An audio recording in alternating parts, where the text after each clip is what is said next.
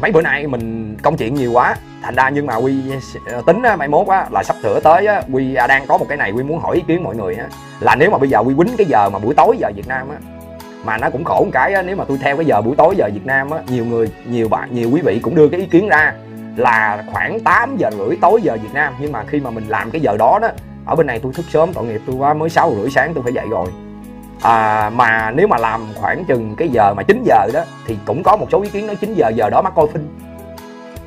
Thì nếu mà quý vị ở quý vị thấy làm sao là đẹp? Tại vì nếu mà quý làm cái giờ khoảng 7 đến 8 giờ tối mà tôi sẽ làm hai hai tức là cái giờ buổi trưa tôi vẫn giữ nhưng mà tôi sẽ làm thêm làm thêm khoảng khoảng 7 đến 8 giờ sáng 7 giờ rưỡi 8 giờ sáng giờ Cali. Mà 7 giờ rưỡi 8 giờ sáng giờ Cali thì Việt Nam là 10 giờ rồi thì cũng có nhiều người nói 10 giờ đi ngủ rồi. Tại vì hai cái giờ nó khác biệt ban ngày của quý vị á, là ban đêm của tôi đó thành ra ví dụ như bên Việt Nam mà nếu mà cái khoảng 8 giờ tối giờ Việt Nam á, thì khổ cho Quy là bên này 6 giờ rưỡi tôi phải dậy giống như ông Trần Nhật Phong ông lớn tuổi rồi ảnh dậy được. Còn mình buổi tối mình làm việc đêm 6 giờ mình phải dậy là chết mình luôn. À 6 giờ dậy 6 giờ là mới ngay 8 giờ mà muốn làm lúc 6 giờ á, là 5 giờ phải dậy pha cà phê cà pháo đồ uống cho cái đầu nó tỉnh.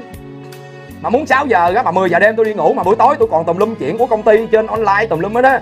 Thành ra đó là mình muốn làm mà hai cử á mà làm một cái cử chán á, mà chọn 9 giờ 9 giờ tối giờ Việt Nam nhiều người nói cái giờ đó mắc coi phim, coi này, coi kia. Thành ra là ừ nhiều người nhiều người nhiều người người nào cũng nói tốt nhất á, tôi cũng biết tốt nhất nữa, thì bây giờ tôi sẽ đếm comment, tôi sẽ đếm, tôi chia ra. Nếu mà cái comment nào mà nhiều á, mình sẽ lấy cái xác suất trung bình. Vì thì quy nghĩ chắc khoảng 9 giờ hay là 9 giờ rưỡi, nhiều người nói nếu mà 10 giờ tối giờ Việt Nam á, thì người ta người ta đi ngủ rồi.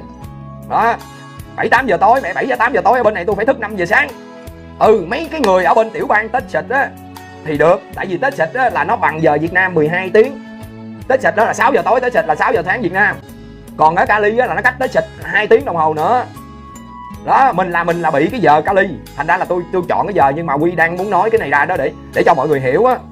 Có thể người khác người ta cũng coi lại, mẹ cái giờ mà sáng thức dậy mà cái đầu lên lên nói chuyện cả trứng chó chúng chửi thêm làm mẹ gì? Cali, cái giờ Cali nó kỳ cục lắm. Rồi chưa tính mai mốt sắp tới tháng 11 bây giờ nó thêm một tiếng nữa nè tức là mấy mấy bữa bình thường tôi làm, ví dụ như là 8 giờ rưỡi tối, là mấy mốt tôi phải làm 9 giờ rưỡi tối.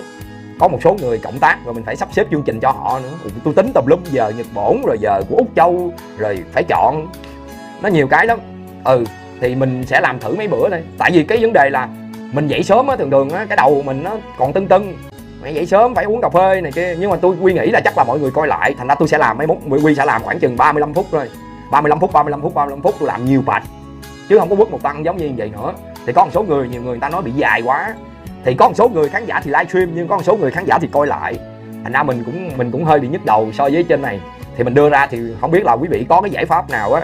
Thì quý vị đóng góp uh, cho diễn đàn với lại quy quy quy chưa có biết là mình phải lên cái chương trình như thế nào rồi phải sắp xếp cái giờ đi làm của mình nữa. Mình phải có cái giờ đi làm của mình ở bên ngoài nữa. Chứ đâu phải sống cái nghề livestream này không đâu.